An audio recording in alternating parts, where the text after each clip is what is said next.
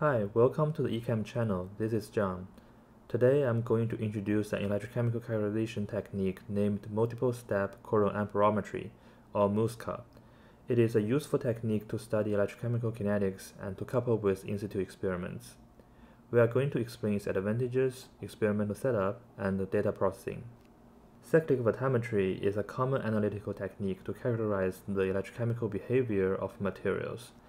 Here is a typical potential profile that shows a complete cathodic and anodic cycle, and a normalized cyclic voltammograms at various sweep rates for Ti3C2 MXene in 3 molar sulfuric acid.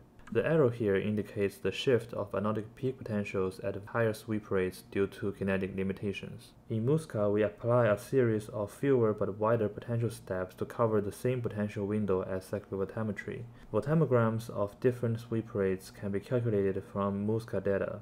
Compared to the cyclic voltammograms, the MUSCA calculated voltammograms show reduced kinetic limitations. The difference comes from the induced current responses. Cyclic voltammetry leads to an increased current at higher sweep rates, which causes more kinetic limitations like ohmic polarization.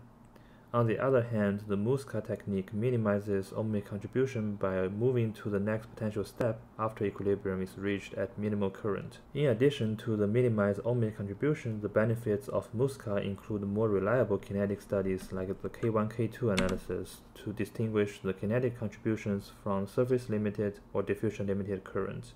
MUSCA is also compatible with many in-situ experiments as most physical characterization requires a certain data collection period. This data collection period can be matched with the holding time at each potential plateau. The physical connection for MUSCA is the same as those for cyclic voltammetry.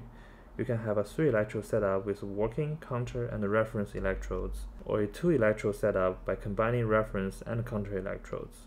At the software interface, you can use either chronoamperometry or constant voltage techniques. For a specific potential step, you ask the potentiostat to hold a certain voltage for a certain period, time 1. We also need the potentiostat to record the current response every certain second t2. t1 determines the duration of each potential step and t2 is the time resolution of our current responses. Because this is a multiple step technique, we need to set up the other steps. Different potentiostat manufacturers may have different setups, but please find a method that allows you to ramp from one potential step directly to the next without letting the potential drop to open circuit potential in between. Here I'm using the phrase sequence to indicate that the potential ramp should be a continuous process. In a new sequence, keep the time 1 and time 2 the same, change the voltage to the next value. Repeat the third step until all potential steps are set up. It may sound abstract, so here is an example. If we would like to perform MUSCA between 0 and negative 0.7 volts versus a reference electrode with 100 millivolts potential steps, we will set up 15 sequences with the following potential values at the steps. We can hold the potentials for 100 seconds to make sure the system reaches equilibrium and collect data every 0.02 seconds. If you wonder how the potential step selection affects the calculated voltammograms, please check out the paper by Shao and co-workers. We can obtain a current response with the MUSCA potential profile like the one here for titanium carbide MXene in 3 molar sulfuric acid. Overall, the shape of the current looks similar to the ones obtained from cyclic voltammetry. From the current at the end of each potential step, we can tell minimum parasitic reactions like the hydrogen evolution reactions as the current decayed almost to zero at each step. Because voltammograms are constructed by current values, we need to calculate the current at each potential step using the equation here. It represents an average current calculated from the total charge measured over a timed interval on each potential step delta t. This delta t is calculated based on the sweep rates we would like to simulate as sweep rate is defined as the ratio of potential step to time. To continue the example of the last slide, here we calculate the current assuming a sweep rate of 100 millivolts per second. Because we have a potential step of 100 millivolts, 100 millivolts per second will result in a delta t of 1 second.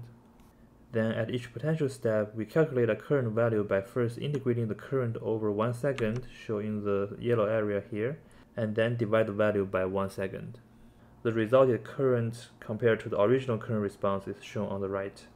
It can be labor intensive to go through all the potential steps and for all the sweep rates. So here is an example MATLAB code to automate this process accessible via my GitHub.